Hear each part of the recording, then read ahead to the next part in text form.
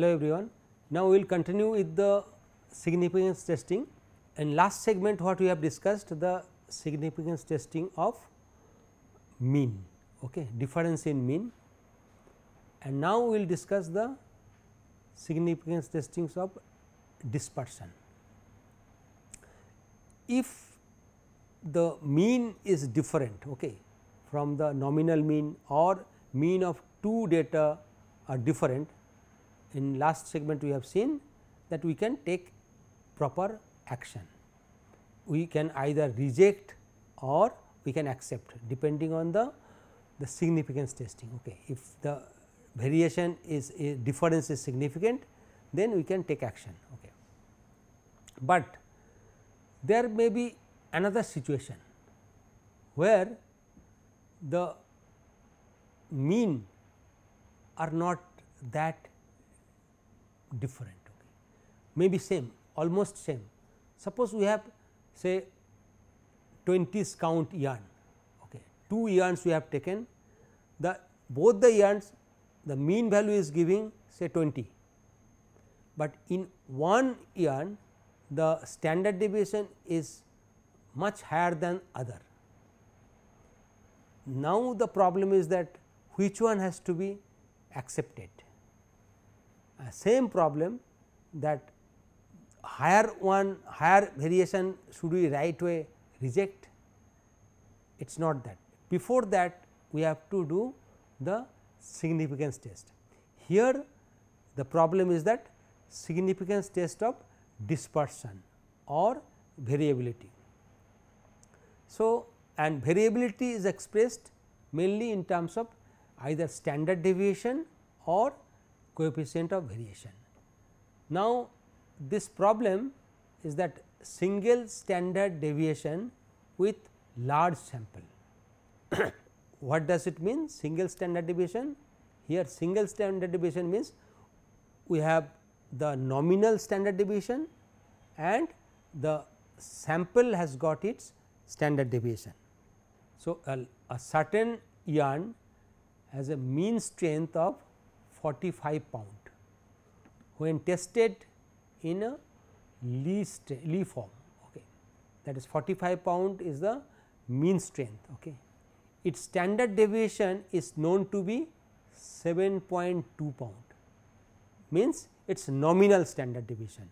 So, 45 pound is the mean strength and the standard deviation is 7.2 that is the variability. 50 leas are tested. So, from there this is the known value 45 pound and 7.2 now, sample is taken 52 50 leas are tested and although the mean strength is not significantly different from 45. So, we are not bothered about mean strength. So, we so then suppose the yarn is giving 45 strength, but the standard deviation of the sample is 9.4 our targeted nominal standard deviation is 7.2 that is the its that it is acceptable, but it is giving 9.4. Now, our problem is that to know the, is the variability of the sample is really greater than the bulk sample. So, bulk samples is uh, 7.2 standard deviation now it is uh, 9.4. The treatment here will be exactly same as we have discussed earlier, but the formula will be little bit different. Here the standard deviation we are measuring. Now, this is the problem. Here the given data is n equal to 50, mean strength is 45 and nominal standard deviation S capital S is 7.2 and standard deviation of sample small s is 9.4. Okay. Now, step 1 is that the calculate the standard error of standard deviation. Now, earlier what we have done? We have calculated the standard error of mean. here we are now trying to calculate the standard error of standard deviation. The formula is just here it is a instead of n it will be 2 n. Okay. Standard error of standard deviation is standard deviation of sample divided by under root 2 n. Here one thing we should remember here we are not talking about the standard deviation of population. We have two values one is population value another is sample value. Here we will be taking standard deviation of sample by under root 2 n. Okay. Now, standard deviation of sample is 9.4 and 2 n then it is coming out to be 0.94. This is standard error of standard deviation. Okay. And then rest the process will be exactly same. same. So, we will calculate the t value, t value will be the difference between the standard deviation because we are now trying to calculate the difference between standard deviation it is not the mean okay there is difference between the standard deviation by standard error of standard deviation so difference is capital S minus small s by standard error. So the t value has come out to be 2.34 04 okay? This is the t value. Now this t value we have to compare. Now this compare this t value with the 1.96 and 2.54 as we have seen earlier for 5 percent and 1 percent confidence level for large sample that we have seen 1.9. So, this when once we compare so 2.34 is compare it is higher than 1.96, but less than it is 2.54 okay 58. So, the conclusion is that although there is some evidence of a difference in variability, it is only significant at 5 percent level. Okay. So, it is not significant at 1 percent level. So, what we should take action? We should we may or may not accept, okay. but in normal case we may allow it to go okay, if there is no extreme problem. Okay. Next is that earlier one was the single standard deviation with the with large mean large sample. This was the with a large sample. Large sample. Next one is stand single standard deviation with small sample. Now, the problem is the standard deviation of lea strength of a yarn is 2.3 pound, but the sample of 13 small sample 13 bobbins from a lot is tested and the standard deviation of the sample is 3. So, it was 2.3 is the nominal and 3 is the actual we have got. Okay. Now, we have to do is the ring frame producing a yarn whose strength is more variable than usual. Okay. This is the problem. Now, here the thing is that in this case as it is smaller sample we can definitely go for the standard error principle as we have done earlier. We can take we can uh, solve this numerical based on exactly same earlier value only thing is that here the earlier case it was the large sample the t the t value was taken based on the degree of freedom of infinity. Here we have to take the t value based on the degree of freedom 13 minus 1 that is 12 on that basis we can test we can do the, the analysis. But as it is a smaller sample we can take we can use another technique. This technique which is simpler one much simpler one we do not it it actually it is faster one. It needs very small calculation.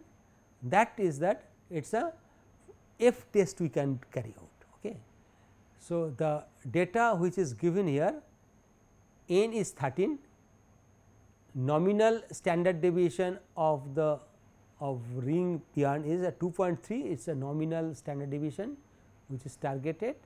And standard deviation of sample is 3 3 is the standard deviation of sample. Now, now for f test we have to calculate the variance. F is as we have seen f is nothing but the variance ratio okay? So, then we calculate the variance. What is variance? Variance is the square of standard deviation. And now the V 1 we do not know wh whether it will be V 1 or V 2, V 1 will be always higher. Okay. Here we have seen 3 was higher, 3 is the sample standard deviation that is why V 1 we have taken as 3 square 9 okay. and V 2 it is lower it is a 5.29 which is 2.3 square which is the nominal standard deviation. Now, what we have to do? We have to simply take the ratio. So, calculate f, f is the ratio of the variance of greater variance that V 1 and it is a smaller one.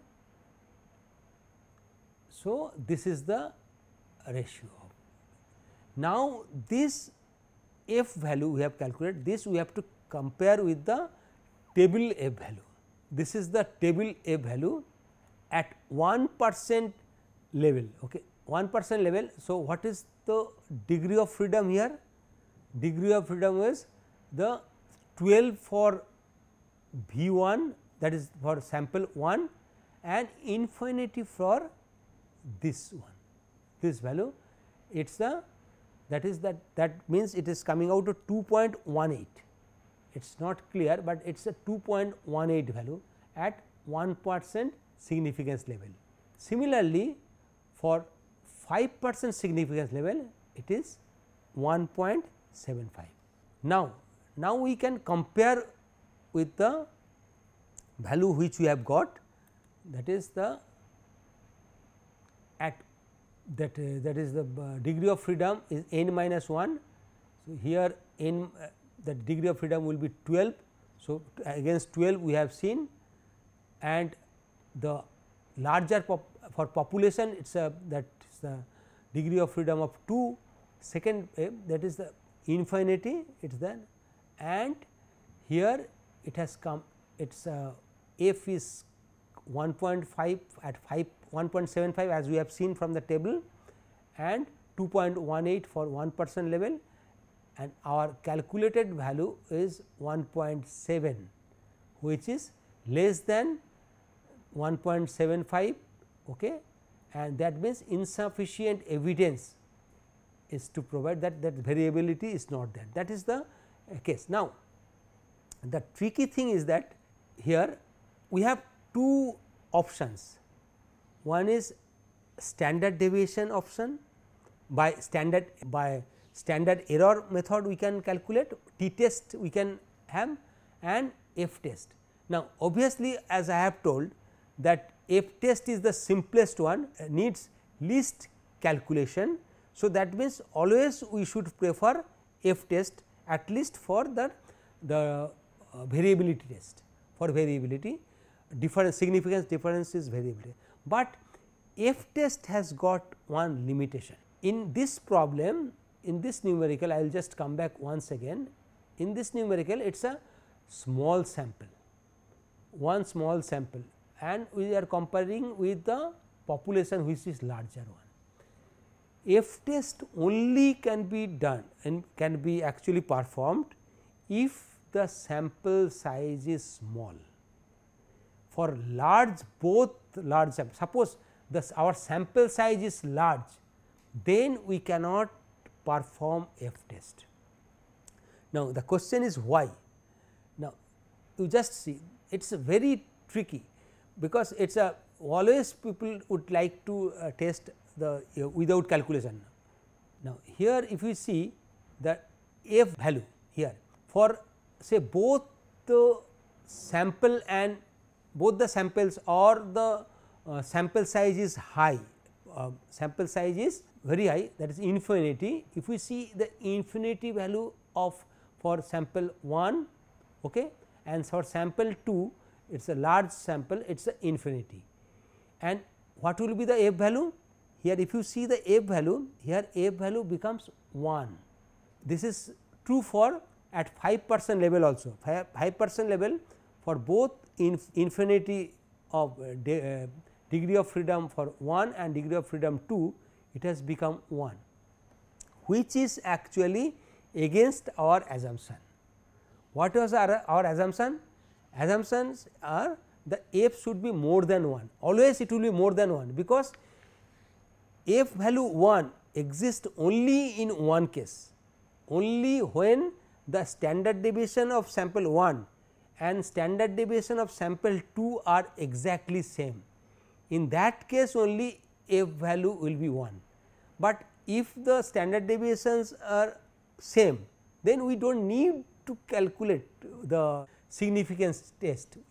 So, that is why f test is only carried out in case of when the data number of data are smaller size. Okay.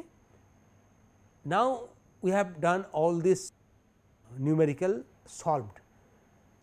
Now, this is for your homework I have done. So, you can simply note down this numerical and test you can try using the form theory or using the all these problems we have solved. Just I will read all these things 100 ring bobbins are tested for count and the mean count is found to be 34.2. The nominal count of ring frame is 34.0. Okay. Can we conclude that the frame is the is really spinning off count that we can okay. standard deviation of sample is given 0.62.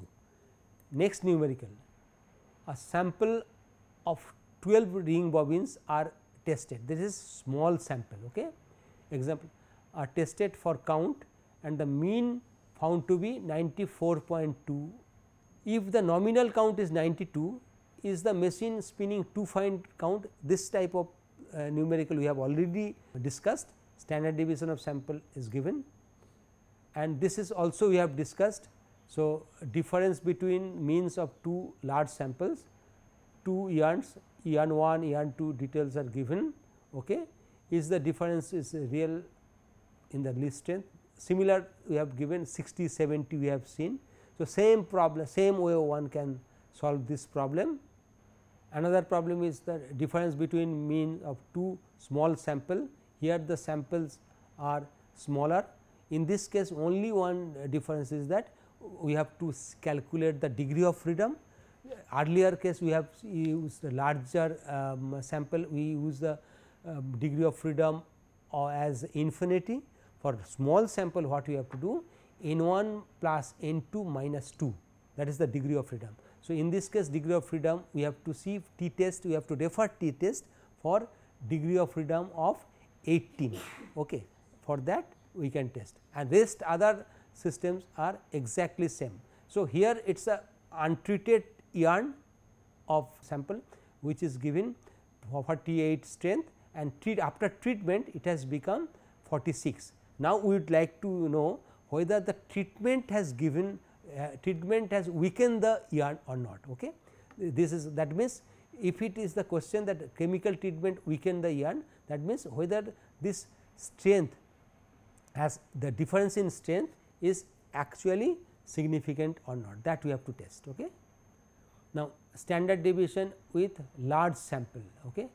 The nominal count this type of problem we have already discussed the nominal mean lea strength of yarn was 42 pound.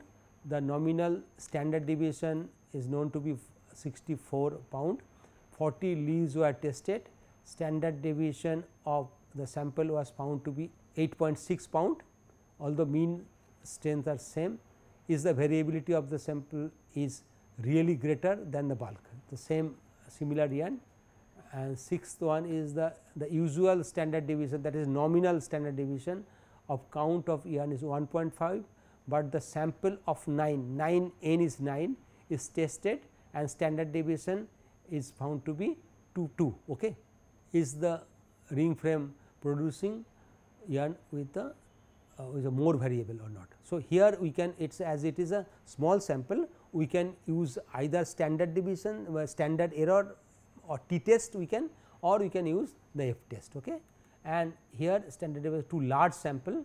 So, here we have to do the we as it is large sample we can do the t test as we have discussed earlier also okay. and standard deviation too small sample too small sample here we can test f test also. Okay. So, this is the the web to strength of two fabric samples was tested to see whether the change in weft yarn that yarn yarn has been changed in the same loom and for the same set of work had affected the variability of the strength. Okay. So, that that is the so the strength of standard deviation of strength of fabric A was 6.5 and calculated from 9 test result n 1 equal to 9 and if uh, the fabric B was 7.5 n 2 equal to 11. So, we have to test. So, so, that is the variability here we can see standard deviation of this B was higher. So, we can this we can assume the square of this as V 1 that is the variance 1 and uh, variance 2 will be this one. So, 6.5 square. So, the f value will be 7.9 square by 6.5 square. We will see against that the horizontal line we will see that 11 minus 10 degree of freedom 10 against 9 8. So, 10 against 8 the whatever value we are getting that f value we have to compare. Okay. So, in that way we, ca we can do this um, solve these numericals and we can try similar numericals also.